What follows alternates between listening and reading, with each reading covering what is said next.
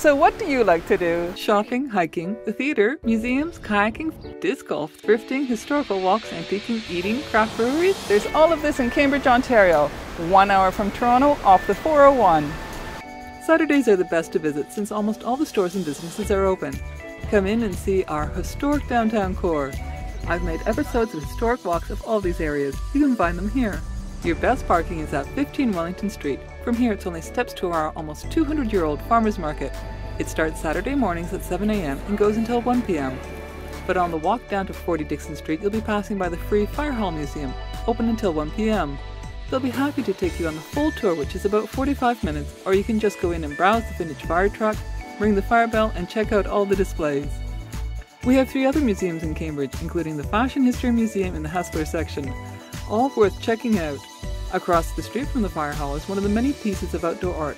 This is the founders of Galt Cambridge, William Dickson and Absalom Shade. But if you continue down the alley, you'll see more great murals and wall art that's throughout Cambridge. We have about 15 pieces of outdoor art in the core.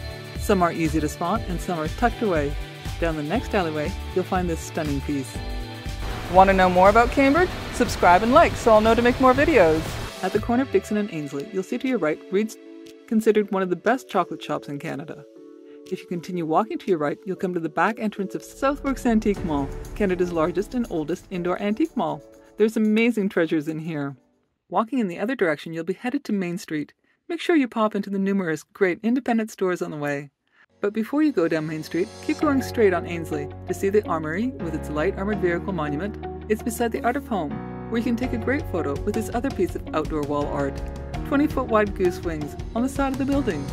If you're ready for a cup of coffee, across the street on Ainslie is Monigram's Coffee. They take their coffee very seriously, freshly roasted in their own signature brands. On Main Street, you can admire the stone buildings that have been here since 1863 and the other beautiful buildings built in the 1800s. We even have a store that's been in the same family in the same spot for over 120 years. If you continue walking down Main Street, you'll cross the iconic Main Street Bridge over the Grand River. This is one of the rivers that made Cambridge and is considered a heritage river.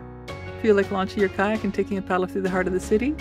There's a launch area accessible from the parking lot at 50 Water Street North.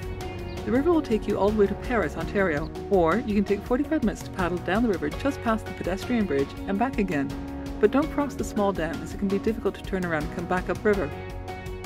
For a longer kayak, you can start at Blair and end at River Bluffs Park, just before the core. Check the water levels at GRCA River Flow chart listed in the description below. Still want to be active? We have hiking trails throughout the city, most accessible year round, and I've made videos about several of them.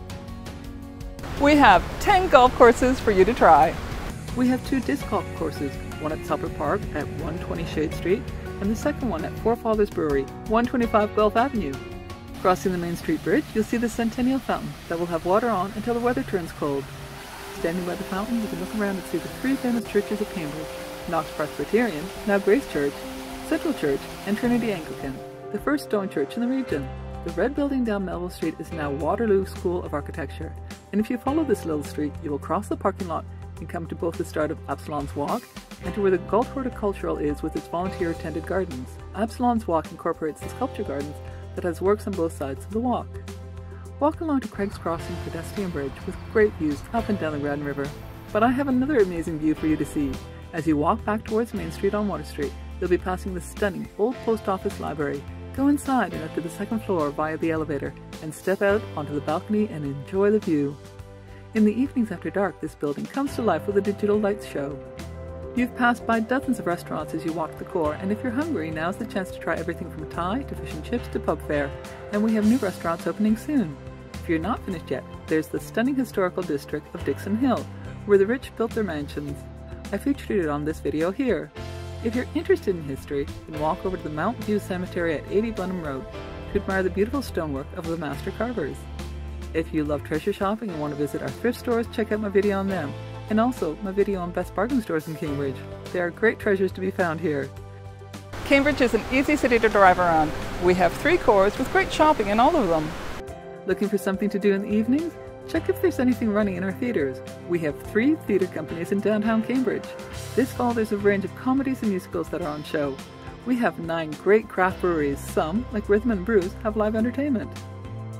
This is a tiny taste of what's available in Cambridge, one hour away from Toronto. Amazing Cambridge, Ontario.